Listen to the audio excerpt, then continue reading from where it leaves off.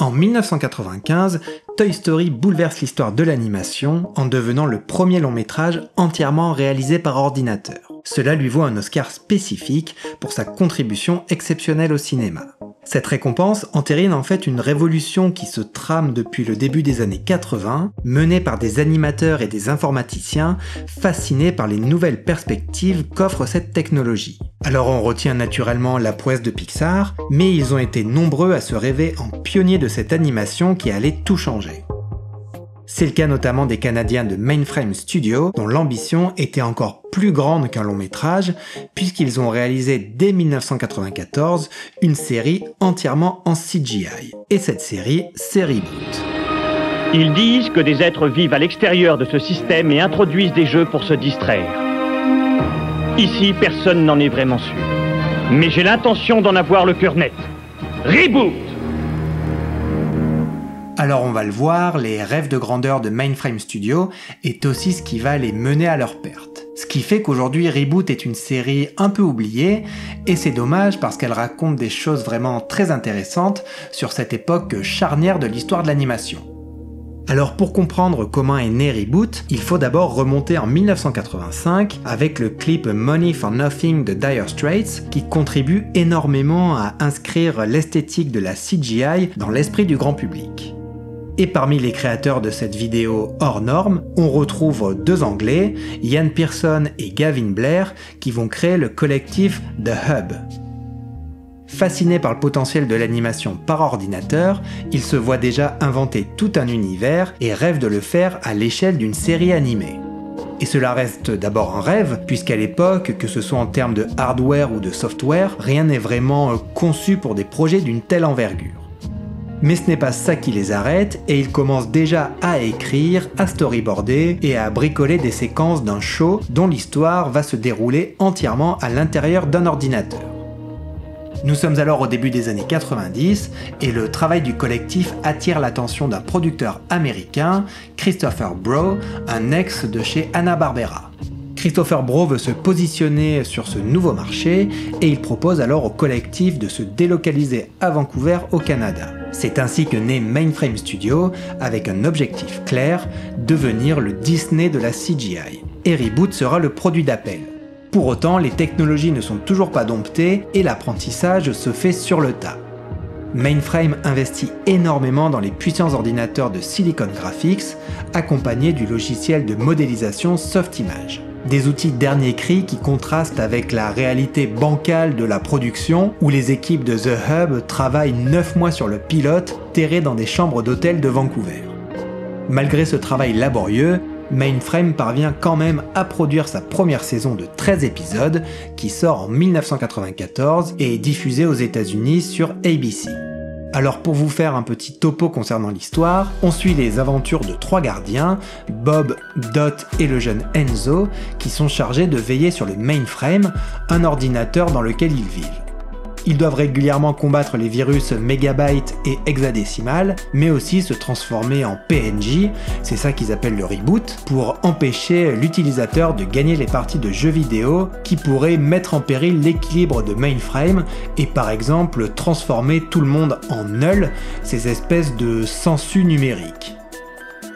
Alors ce que j'aime beaucoup avec Reboot, c'est que ça reste encore une série qui ne ressemble à aucune autre.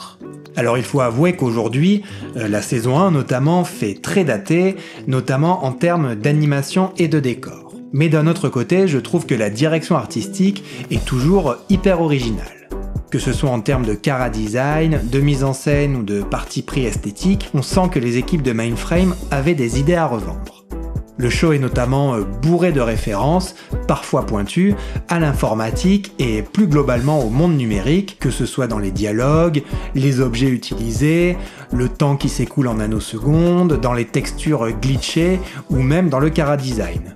On peut par exemple remarquer que les habitants de Mainframe, les binômes, sont des 0 et des 1. Sans oublier les clins d'œil aux jeux vidéo des années 90 qui font euh, l'ADN de Reboot et qui ont aussi fait sa réputation.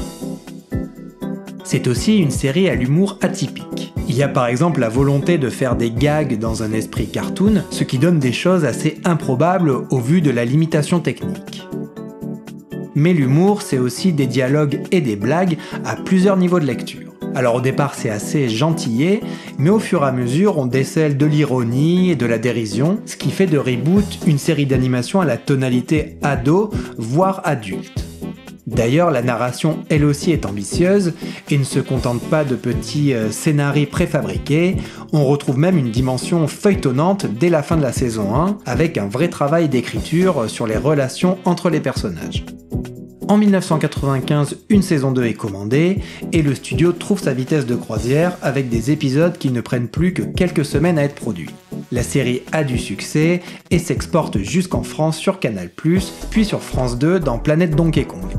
Et parallèlement, Mainframe a toujours ses rêves de grandeur et ils font un deal avec la compagnie de jouets Hasbro pour créer la série Transformers Beast Wars. Mais leur objectif pour rentrer dans la cour des grands est bien sûr de produire un long métrage. Ils choisissent alors d'adapter le voyage de Gulliver, mais pour euh, plein de raisons, le projet n'aboutit pas et le studio se retrouve dans une situation financière vraiment très délicate. Nous sommes alors à l'aube des années 2000 et dans une industrie qui va à mille à l'heure et où Disney et DreamWorks sont désormais capables de développer leur propre logiciel, ce contretemps met Mainframe Studio sur la touche. Ça va être un deal avec Mattel pour produire les films Barbie qui permet de sauver la compagnie, mais l'époque de reboot est déjà loin. La quatrième et dernière saison sort en catimini en 2001 et les créateurs originels quittent le navire. Alors en conclusion, je pense qu'il faut voir euh, Reboot comme un projet à l'image de la folie créative qui régnait dans les années 90 où la pop culture était en pleine ébullition. D'un côté, elle s'inscrivait dans le business plan d'une entreprise qui voulait gagner des parts de marché, mais de l'autre, ça ne l'a pas empêché d'être rebelle, d'être expérimentale et surtout d'être précurseur de ce type d'animation jamais vu. En fait, l'arrivée de l'ordinateur a fait un peu table rase et a remis les animateurs dans une position euh, très similaire à celle de leurs ancêtres qui avaient imaginé ce média au début du XXe siècle. Il s'agissait de nouveau de faire un grand saut dans l'inconnu et tout restait à inventer, et je trouve que Reboot est un chouette témoignage de ce moment particulier. Si cette vidéo vous a plu, n'hésitez pas à nous le dire dans les commentaires et à vous abonner en activant la cloche. Vous pouvez nous suivre sur Twitter, Instagram ou rejoindre notre serveur Discord pour suivre tous nos projets. Et moi je vous dis à très bientôt pour une nouvelle chronique.